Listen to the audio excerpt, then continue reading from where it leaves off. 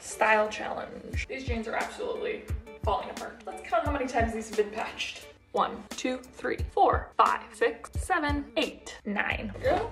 Let's see what else we got here. 10, 11, and it looks like these could stand to be uh, patched a few more times. We got another hole there, another hole in the crotch. Alley-oop. Here we go. They've been in my uh, to repair pile for a while. Should we change the top? More fresh for spring. Yeah, needs a little something else. Feeling that,